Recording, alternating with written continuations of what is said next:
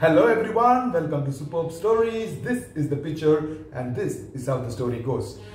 There was a crow flying over a building. It had seeds on his hands, okay? While flying, one of the seed uh, fell under the building, okay? Uh, the seed was uh, literally begging the building not to crush him.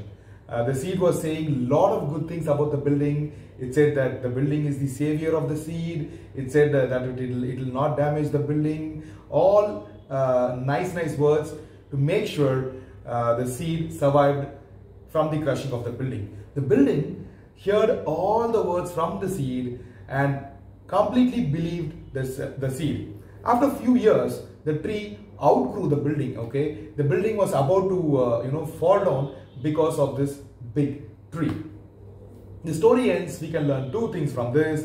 First thing, never be that building. Okay, you can trust a lot of people, but don't trust anyone and everyone. Second thing, be like the crow. Even though it is not portrayed in a positive way, the crow survived because of one thing. You know what?